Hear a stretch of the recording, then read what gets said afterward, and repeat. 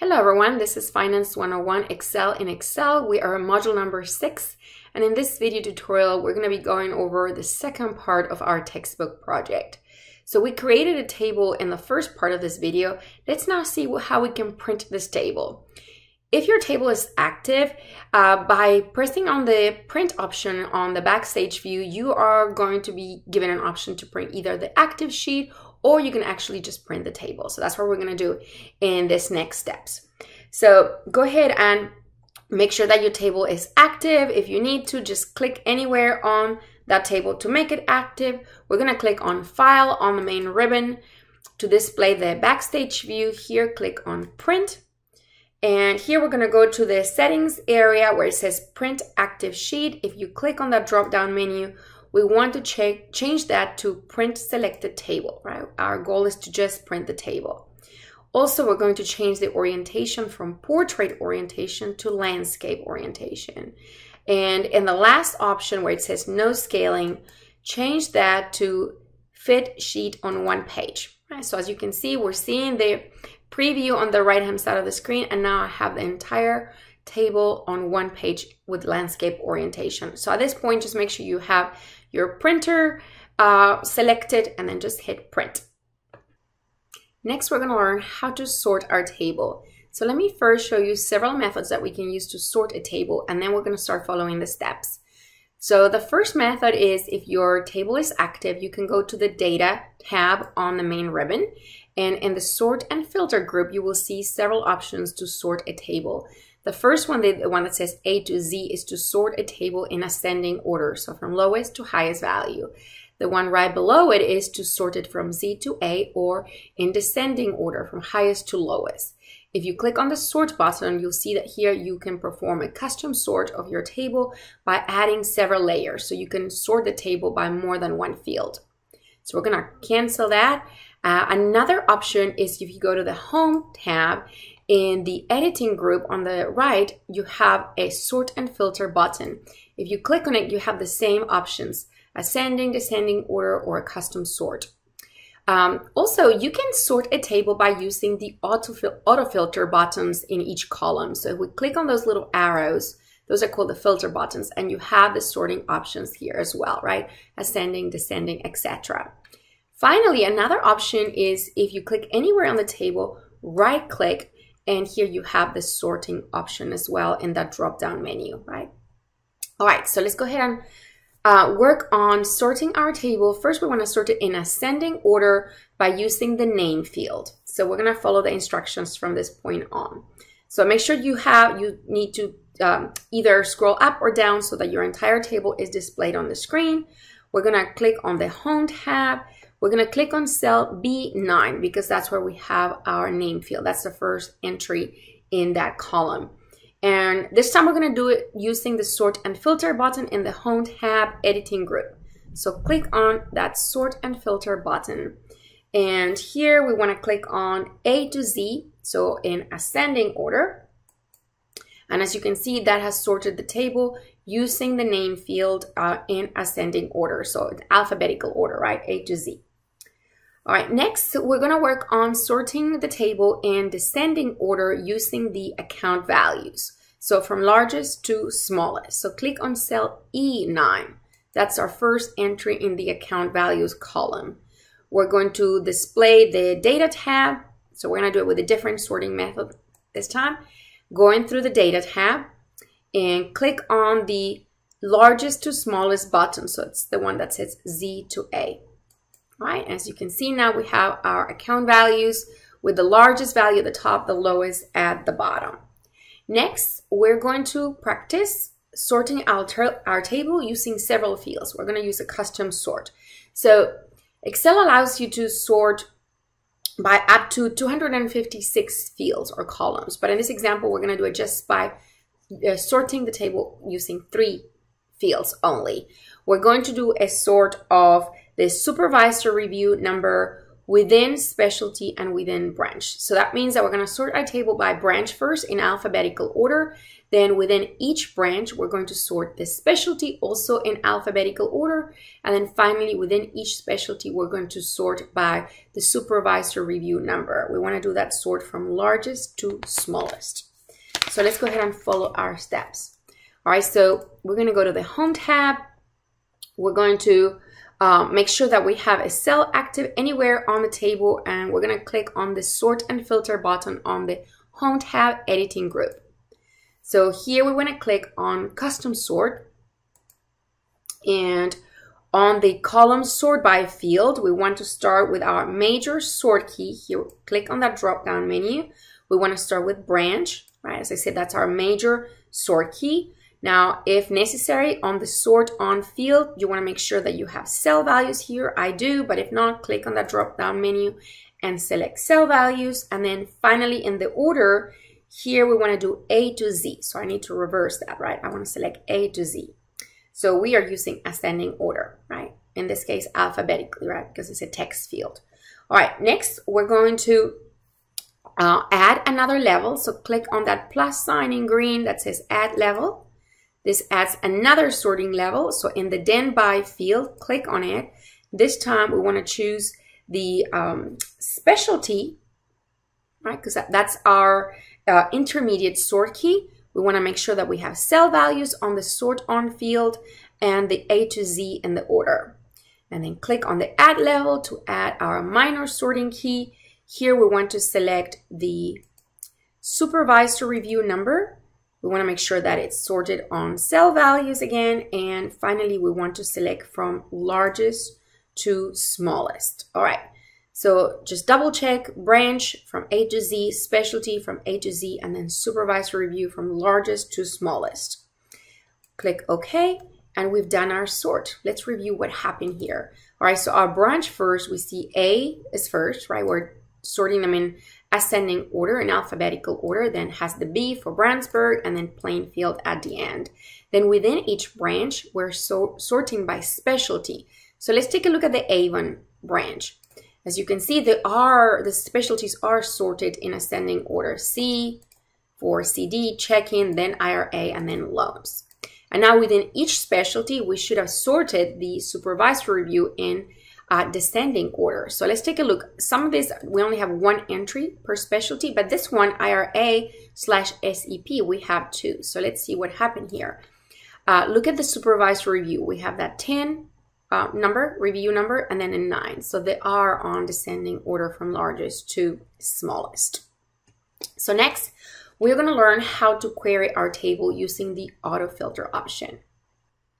When we create a table in Excel, an autofilter button is automatically added to each column or field. As you can see, those are the arrows that are to the right of each column header. So let's click on one of them. I'm going to click on the one for name.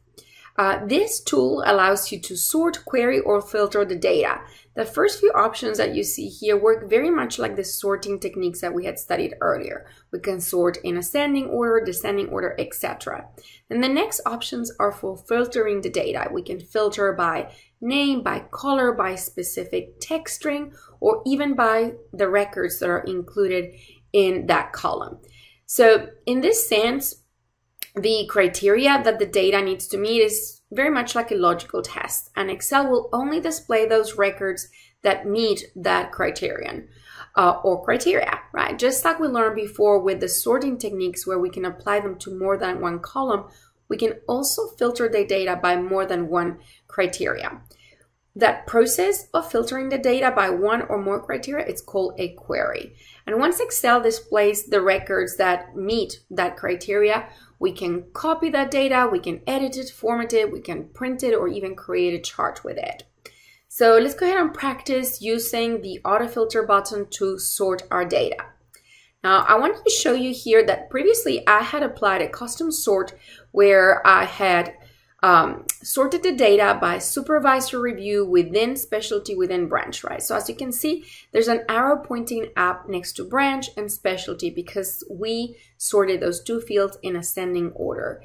And the supervisor review has an arrow pointing down because that field was sorted in descending order. I wanted to point this out because once I apply, apply a new sorting rule using the auto filter button, you'll see that this new sorting rule will overwrite the existing one.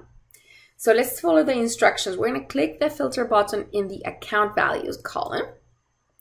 And here we want to sort by smallest to largest. So the very first option from smallest to largest. All right, let's see what happened to our data. As you can see, the account values are now sorted from lowest to highest. Also, I see that in the branch column, the arrow pointing up has disappeared. Same thing for specialty and for supervisor rating uh, review, right? So the new sort uh, overwrote our previous custom sort. Now, next, we're going to use the auto filter button to query a table. So our objective here is to query the entire manage manager's table we want to display only those records where the specialty is not equal to loans. So we want to keep all the other types of accounts, uh, IRA and SEP, a CD money market, checking savings account. Also, we want those um, records that have a rating equal to excellent. All right, so we're to click the filter button in cell D8, specialty. And here excuse me, we want to deselect loans, right? We're to keep the check marks in all the other boxes, but we want to remove the check mark in loans. So go ahead and press uh, OK. All right, as you can see, that reduced the number of records. We eliminated all the records where the account uh, type is a loan. Next, we want to apply the auto filter uh, criterion in the um, GH right, in the rating column. And we want to deselect everything except for the excellent rating. So we want to check or uncheck, right? The fair rating, good and poor. We only want to see a check mark in the excellent rating. All right, we're going to press OK. So that leaves me only with three records. As you can see, even the totals have been updated, right? The totals are now including only those three remaining records. Uh, all right, now did this filter remove the previous sort? Not really. You can, as you can see, the account values are still sorted in ascending order from lowest to highest. Now, what if I want to remove the filters, right? Uh, how do we do that? Well, we can do it in two different ways. We can go to the specific uh, columns where we have applied a filter. We had a filter on specialty earlier, so I could click on there and here you see an option to clear filter from specialty. So you can do them one by one where you, where, excuse me, where you have applied a filter. Also, another option is to clear all the filters. And in order to do that, we'll go to the data tab and in the sort and filter group, we can click on clear. All right, so that gives me our original data. We have cleared all the previous filters. Next, we're gonna use the auto filter option to search a table. So uh, let's go ahead and uh, apply the filter button in the name column.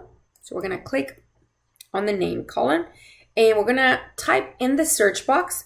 We want to type the last name Nunez. It's pronounced Nunez. In Spanish, it should have the letter Ñ, um, but here it's spelled N-U-N-E-Z.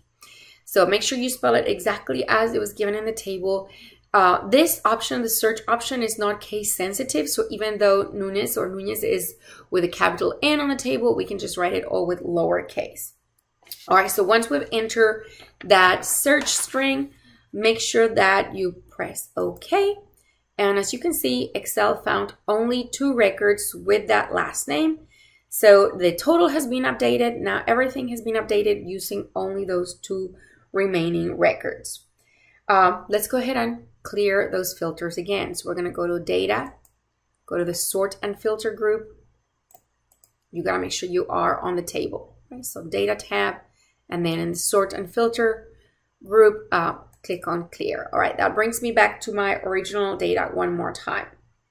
Uh, all right, this time we're going to use the auto filter option to apply a custom uh, filter, right? So the objective here is to uh, filter our data and find those records that have a supervisor review with a number between 7 and 9, including 7 and 9. So greater or equal than 7 and lower or equal than 9. So we're going to click the filter button in cell F8, the supervisory review, and we're going to point to the number filters. And then here, this will display that sub menu. We want to go all the way to the bottom to apply that custom filter. All right, so in the supervisory review field in the first one, as there are two, we want to select is greater or equal than.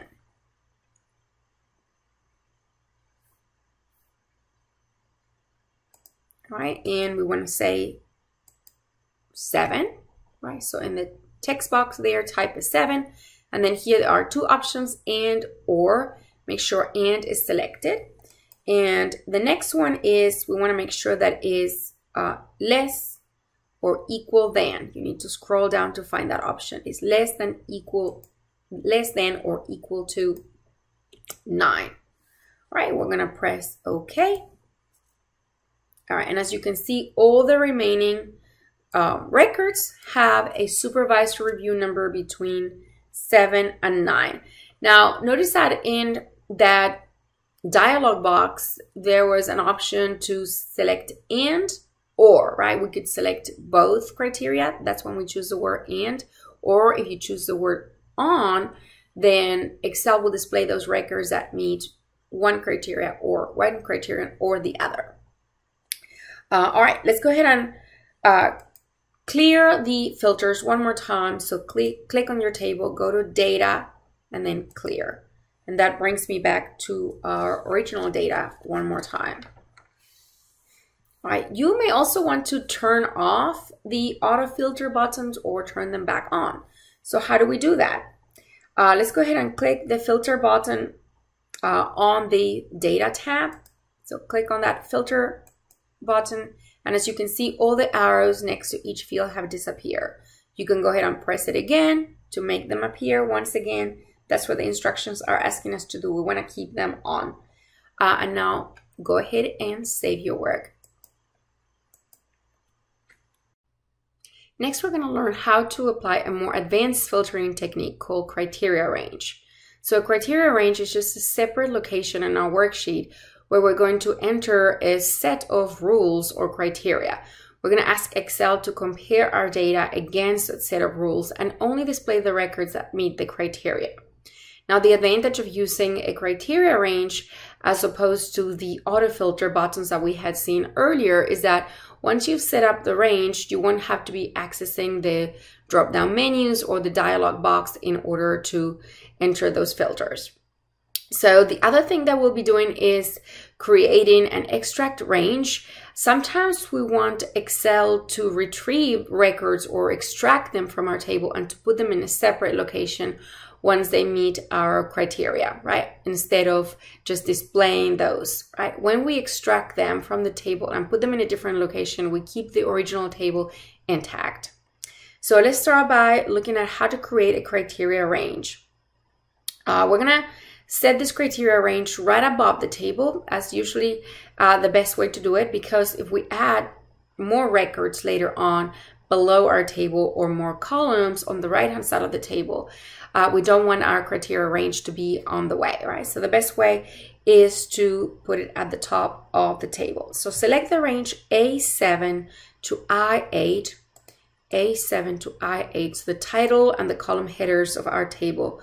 We're gonna press Control C, the shortcut for copy, and we're gonna scroll all the way up, select cell A1, and then simply press Enter to copy those two rows. We're gonna change the title to Criteria Range. So click on cell A1 and type criteria range. All right, press enter. And then if necessary, we wanna use the format painter to copy the formatting from row eight to row two. So I'm gonna select row eight, right, A8 to I8. We're gonna go to the home tab and in the clipboard area, I'm going to click on the format painter button and then Click on cell A2 and drag it all the way to I2. Release the mouse and as you can see, the formatting has been copied. Next, we're gonna select the range A2 to I3. So A2 to I3. So the column headers plus one extra column, which is where we're gonna put our rules, right? Uh, so we're gonna click on the name box. We wanna name this table criteria. Right, press enter. So A2 to I3 column headers in one row. We're going to name that table criteria. Next, we're going to query our table using this criteria range that we've just created. So we need to come up with some rules, right? And we want to put them right below the column headers because Excel will know that because our column headers are matching, they will apply those specific rules that we enter in row three to our main table. So we want to apply the following test. We want to keep the records that have a specialty of IRA slash SEP with an account value greater than 300,000 and we want the supervisor review number to be greater or equal than 8. So in cell D3 under specialty, we're going to type IRA forward slash SEP. Go to the account values and here in this cell, we want to type greater or greater than 300,000. And finally on cell F3, we want to type greater or equal than 8. All right, so make sure that your rules look exactly the same uh, as in your textbook. Now that we've applied our specific rules to our criteria range, um, Make sure that your auto filter buttons on your main table are active. If not, you know, you can go to the data tab and click on filter. That will turn them back on. Mine are still on, so I don't have to do that step. We're gonna click on the table, the main table to make it active. And this time we wanna go to the advanced filter uh, button, right, or option. So in the sort and filter group, go to advanced. And here you'll see this dialog box. We want to make sure that our list range and our criteria range match exactly the cells where we have entered our data. So our list range should be A8 to I23. Notice that all those references are absolute references, so they have a dollar sign in front of the letter and the number. And then under criteria range, we want A2 to I3. So everything looks good. If you have something different, make sure that you change it. Mine looks perfect, so I'm gonna click OK. So I am asking Excel to use that entire table to match it against the criteria that I've entered in the criteria range and to keep only those records that meet those rules or meet that criteria. So there are only three resulting records, right, that are in the IRA slash SEP specialty with an account value greater than 300,000 and a supervisor review number of 8 or above. Uh, all right, so we're going to clear the filter. So go to the data tab and go to clear. That gives me back my original table, right? I have all the records back up on my table. Uh, the instructions say that at, at, this point, if you have lost the banded rows, those are the rows with the different colors, you can go to uh, the data design tab and click on the blue table style medium 14 which is this fourth one for me here as that's the original table style that we had applied right? So if you have lost the banded rows at this point you can go back and select that style once again. All right so next we're going to learn how to create an extract range. So this time we're going to apply the same filter using the same rules but instead of just displaying the records that meet the criteria we want excel to extract them from the table and put them in a separate location so we're going to select the range A7 to I8 once again, A7 to I8. The title and the column headers of the main table, we're going to press Control C to copy. And we're going to go to cell A25 and we can press Enter to copy the title and headers, right? We're going to select cell A25. We want to change this uh, title to extract area extract area, press enter, and then we're gonna select the range A26 to I45. A26 to I45. I'm selecting a pretty big range here to have enough, enough space to extract all the records that I need, especially if later on I have to add some records to the original table. All right, so once I have that box selected, we're gonna go to the name box and we're gonna uh, call this extract.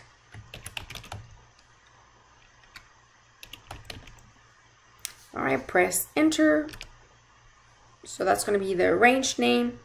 Uh, press enter and then if necessary we're going to use the format painter to copy the formatting and wrap the column headings to match the table headings so I'm going to go back to cells um, A8 to I8 I'm to go to home the clipboard group click on format painter and this time I want to copy it to all the cells in row 26 so drag it through that row and then just release your button. The instructions are also asking me to use the um, wrap column heading option. Um, all of mine are wrapped properly. The ones that have two rows are wrapped properly, so I don't need to do that step.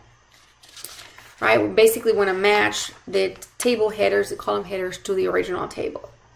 So now we're ready to extract our record. So we're going to click anywhere on the main table to make it active on the data tab, we want to go to advanced.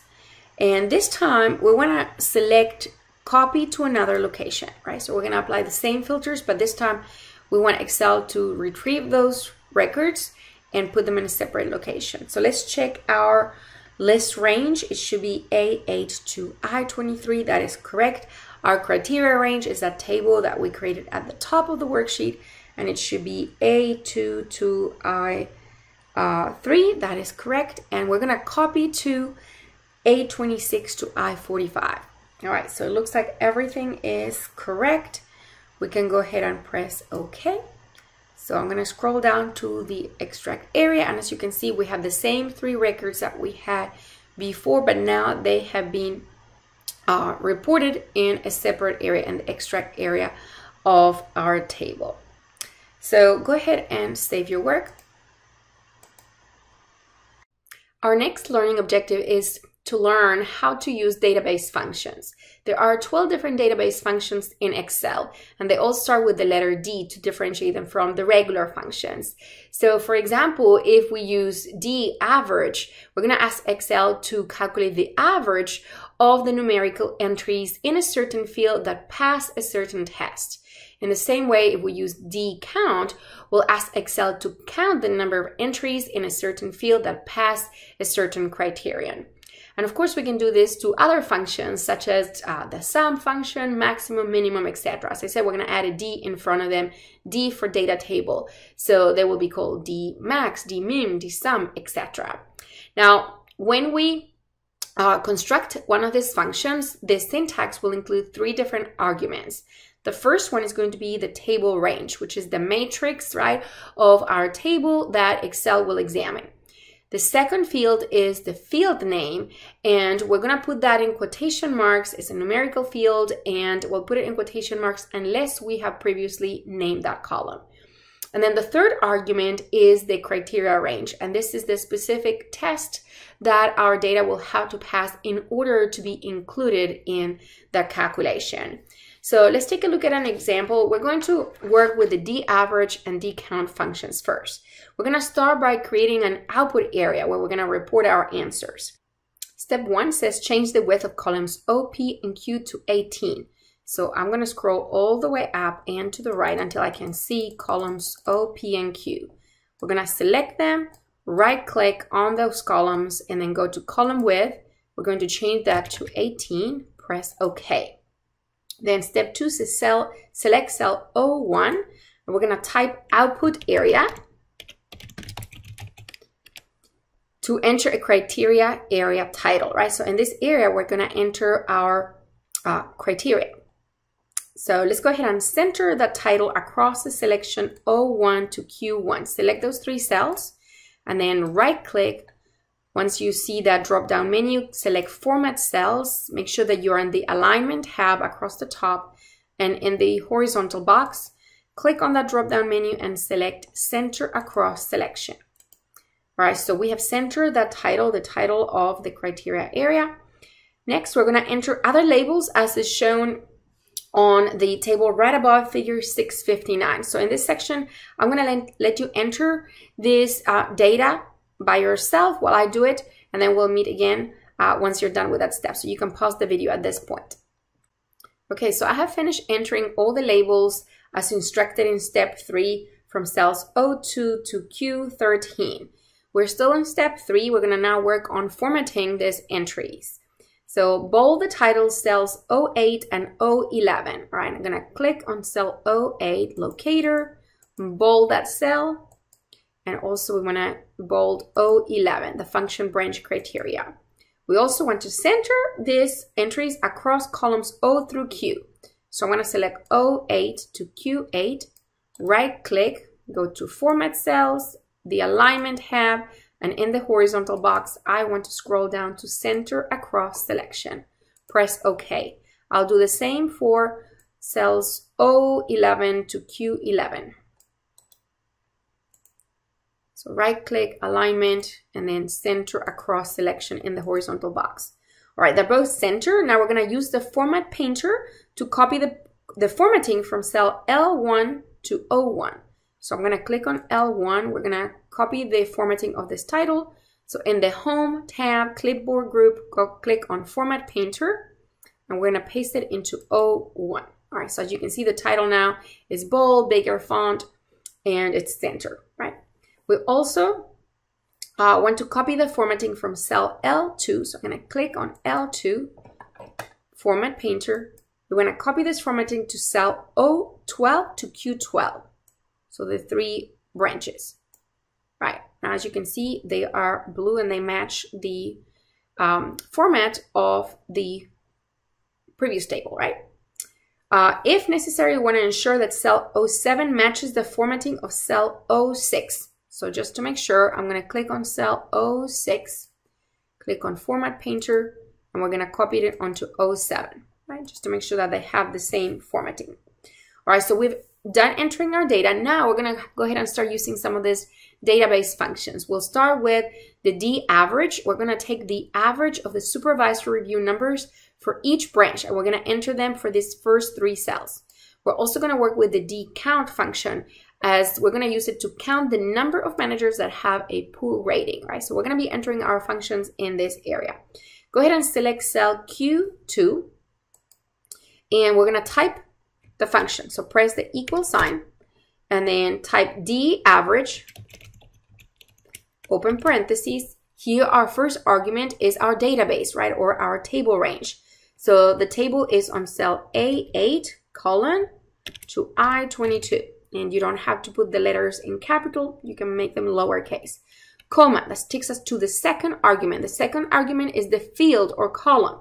We want to take the average of the supervisor review we have to put it in quotation marks. So open quotation marks, marks and type supervisor review, close quotation mark, comma. Now, now we're moving into the third argument. The third argument is your criteria range, the test, right, that this um, data has to pass in order to be included in this calculation. So we want this average to be calculated only for the Avon branch. So our, our criteria range is going to be O12 to O13. So O12 column to O13, right? You can see it, it's highlighted in red. We want the branch Avon. So close your parentheses and then you can press enter, right? So we have 9.000833. We're gonna uh, work on formatting this number um, in a later step. So everything looks go good at the, up to this point. Uh, let's go ahead and enter the next one. So press the equal sign in cell Q3. This time we want the average for the Brownsburg branch. So we're going to do the same. D average, open parentheses. The table range will be the same. So A8 colon to I22, comma. The field is supervisor review close quotation marks, comma, and this time we want our criteria range to be O, uh, sorry, P12 to P13, right? So we have a colon in between. close parentheses. Notice that when I type that criteria range, that criteria range is highlighted in red at the bottom of the table. So you know exactly where it's coming from. All right, so we're asking Excel to calculate the average of a supervisor review number for all of those entries that are in the Brownsburg, Brownsburg branch. Press enter. And then the last one is equals D average, open parentheses, same table range A8 to I22, comma, open quotation mark, mark supervisor field, uh, sorry, supervisor review, right? Quotation marks, comma, and then the last one, we want this time the Plainfield branch. So we want that Q uh, 12 colon to Q13. Close parentheses, press enter. All right, now that we have the averages for each of the branches, uh, we can go ahead and format those cells. So select Q2, Q3, and Q4. We're gonna use the number format. So click on number and make sure you have two decimal places. I already do, so it looks good to me. Uh, and let's go ahead and select cell Q5. Now we're gonna count the number of managers that have a poor rating. So press the equal sign. D count is our database function for counting. Open parentheses, the same database, A8 colon to I22, comma. We want to use this supervisor review field.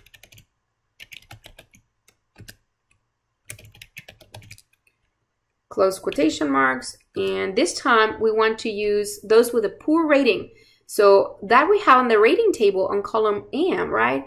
So we want the header of the column with the respective ratings. So we're, need, we're gonna need cells M2 to M3, right? See how they are highlighted in red. So we want that header that says rating with a poor uh, review, right? With a poor rating. Close your parentheses and press enter.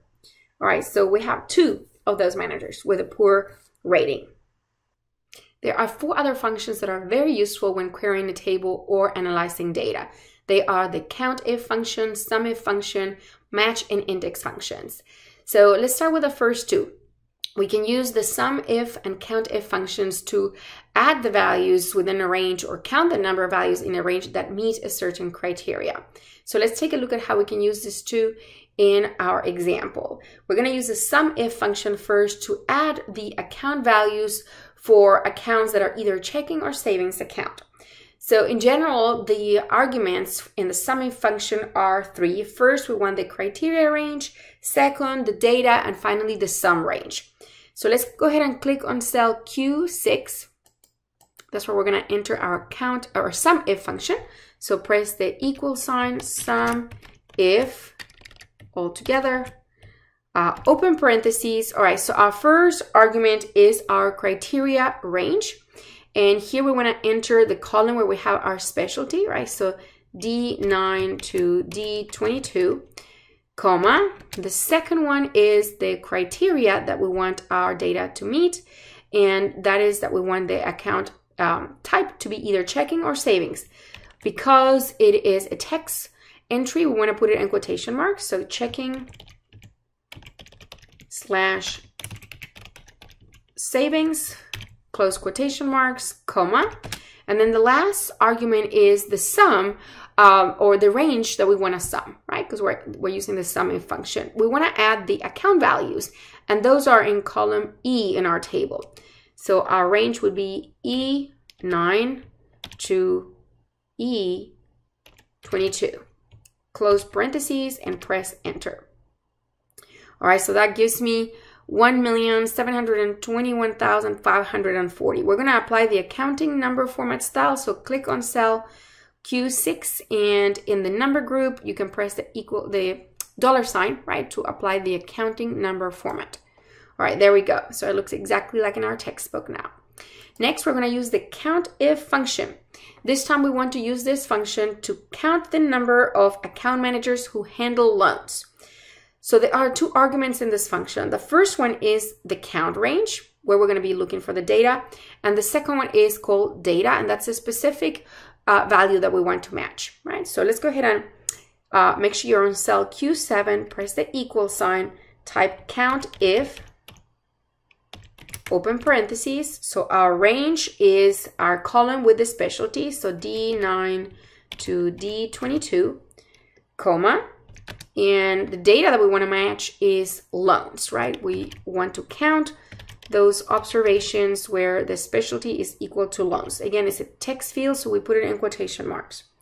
Close your parentheses, press enter. All right, so there, it seems like there are four account managers who handle loans. Next, we're gonna learn how to use the match and index functions. All right, so in our next step, we wanna uh, combine these two functions, both the match and the index function, to use it as a locator. We're going to enter an employee ID number in cell Q9 and in cell Q10, we want Excel to return the name of the branch in which that employee works.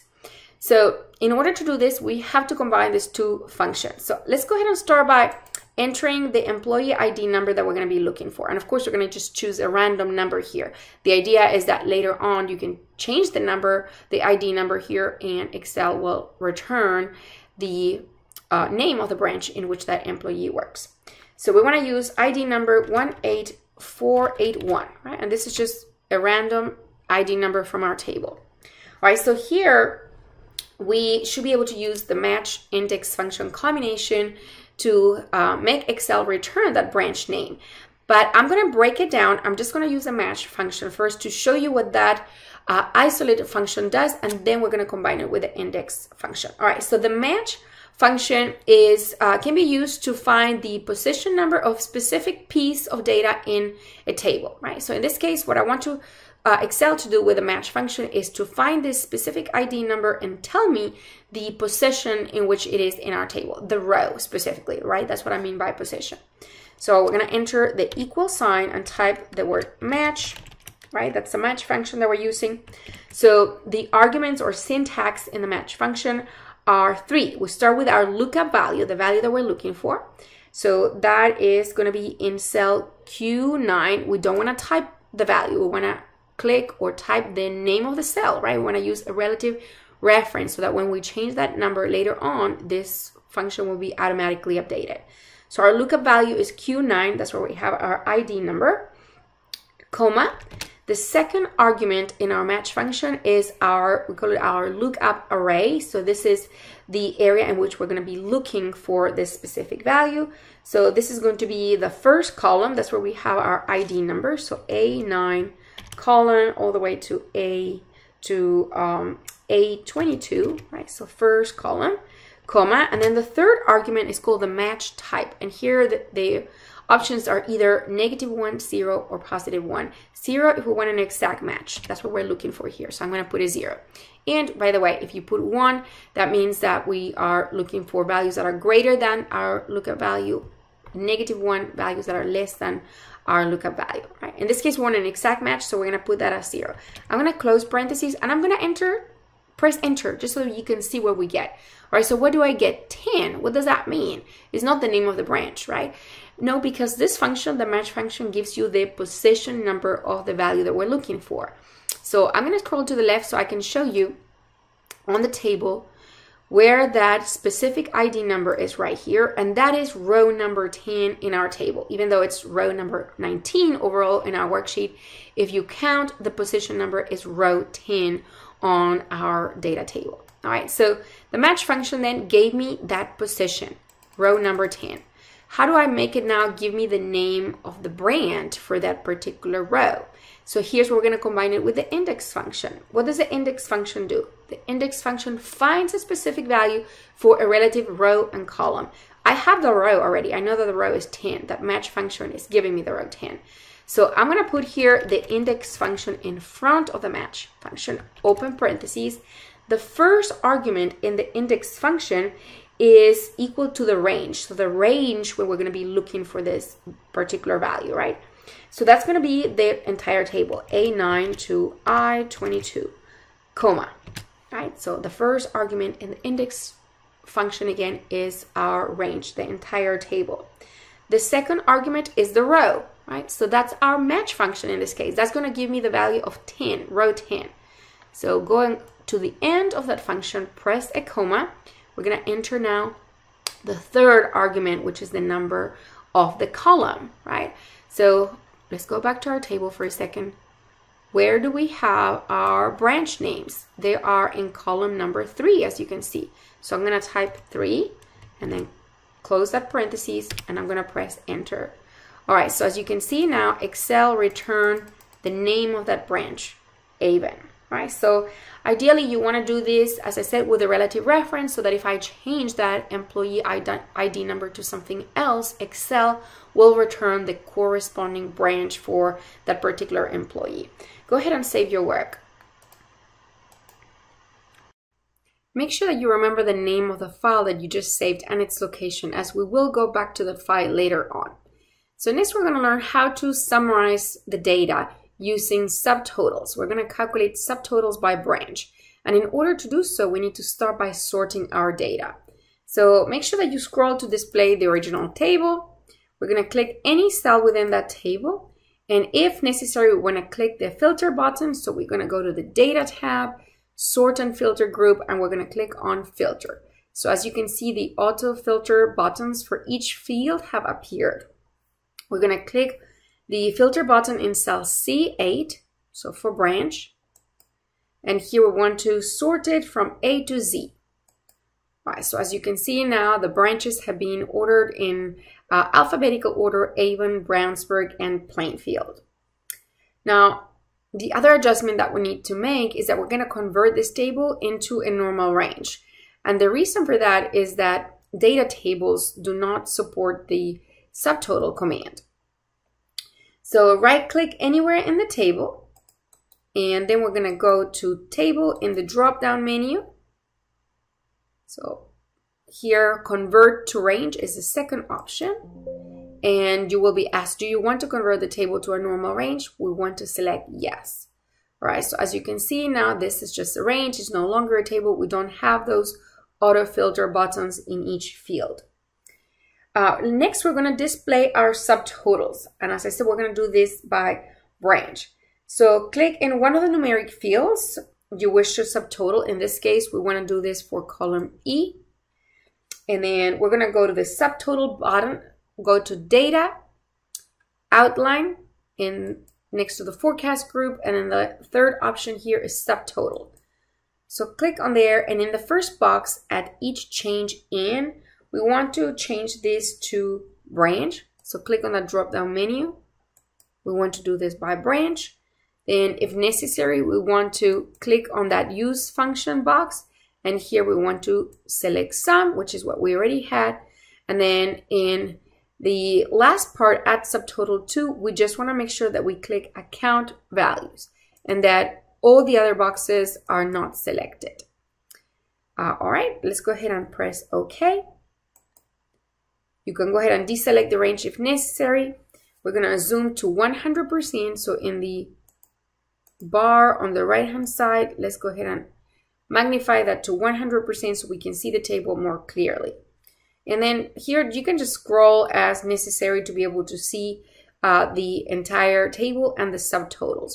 All right, so as you can see, we've generated a subtotal for Avon, another subtotal for Brownsburg, and then we have the last subtotal for Plainfield, as well as an overall grand total. Now, once we create or calculate subtotals, Excel will automatically add an outline feature on the left-hand side. So we want to click on the second outlining column header. As you can see here at the very top, we have one, two, three. Uh, I'm going to click on 2 and that displays only the subtotals that we have calculated. You can experiment here by clicking on 1 which only shows you the grand total, 2 is where we were earlier, the branch subtotals plus the grand total and then if we click on 3 we have the entire table with each of the subtitles. So I'm going to go back to 2. You can also experiment by pressing these plus signs here. Uh, every time you press a plus sign you will display the details for each of the branches.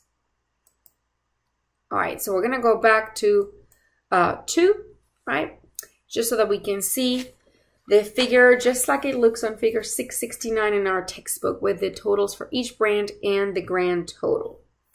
So this time we want to save the file with a new name as SCEX6 bank account managers with subtotals. So I'm going to click on file, save as, and I want to change this to SC dash or underscore EX underscore six, another underscore bank account managers with subtotals. All right, so we're gonna save it. There we go. If you want to remove the subtotals, make sure that you click anywhere on the table with the subtotals. We're gonna go to the Data tab, the Outline group, and click on Subtotal. And here we want to click on Remove All on the bottom left corner of this dialog box. Right, so as you can see, we go back to the original table, all the subtotals have been removed.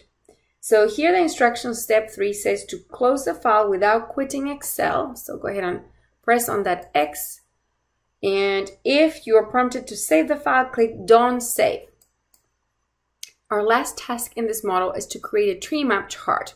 So this chart is going to help us to create a hierarchical view of our data, which will make it much easier for us to identify possible trends or patterns in the data. In our example, we're going to create a tree map chart to compare account managers who have brought in new money except for loans. So Excel is going to display the different branches or sub-branches as different rectangles organized by size.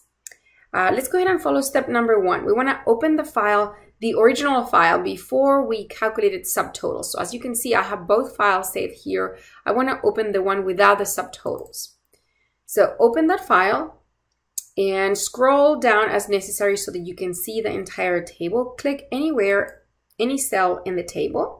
And next we're going to add those filter buttons to go to the data tab in the sort and filter group. We're going to click on filter. And then here we want to sort the data in ascending order by name. So click on the name auto filter button and we're going to select sort A to Z, so in ascending order. So you can see my records now, my names are in alphabetical order. We also want to click the filter button in cell D8, so for specialty, click on it and we want to exclude loans. So make sure that you uh, deselect that check mark in the loans box and we press OK. Now as a result, my number of records was reduced, right, as we eliminated those records that are loans. Next, we're going to drag to select cells B8 to E22. All right, we're going to click on Insert, the Insert tab on the main ribbon. And here we want to insert a hierarchy chart. So this, this one in the middle. And click on that button. We want to select the tree map chart. All right, if you click on that chart, we want to select the six chart style. So they're in order one, two, three, four, five, six. If you put your mouse over you can see that that style number six. So click on it to select that particular style. Next, we're gonna click on the chart elements button. It's the plus sign on the right hand side of the chart. Click on it. And here we want to click the legend checkbox to remove that check mark. Okay, so remove it and that removes our um, legends. Uh, all right, if you point to each of the rectangles in the chart, you're to see the screen tip showing the uh, data points, right, for each of the different categories. So you can experiment uh, by doing that. All right, next we're going to move the chart to a different sheet and edit the fonts. So go ahead and click the Move Chart button so click on the chart, go to the chart design uh, tab, and on the far right, you'll see move chart. All right, so here we want to move it to a new sheet. So select the new sheet box, and we're going to call this new sheet Manager's Tree Map. All right, so once you've typed in the new name, go ahead and press OK. Next, we're going to right click the chart title. and then we're going to click the edit text. And on the home tab, we're going to change the font size to number 24. So size 24. All right. And we're going to type new money account.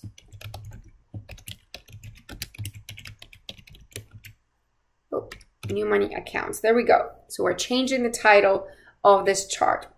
We're going to click uh, any of the data labels in the chart and we're going to change the font size to 14.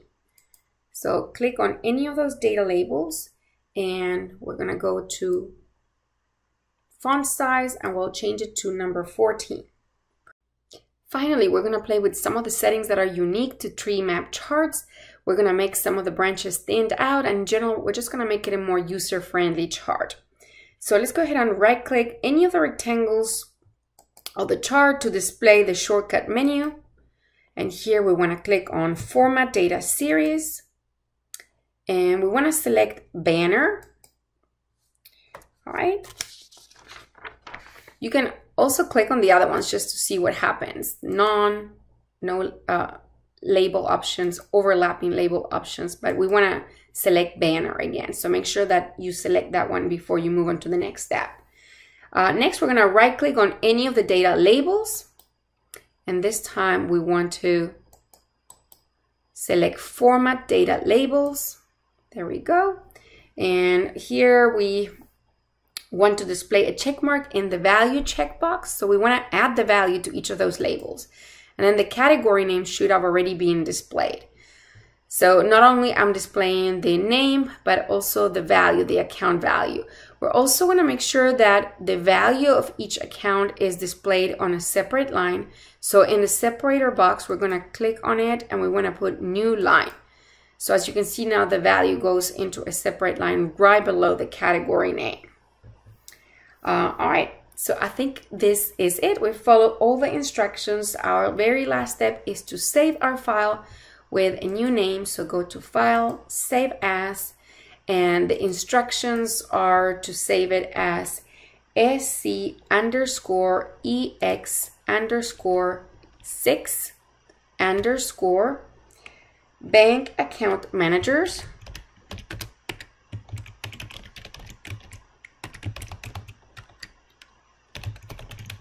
there we go with tree map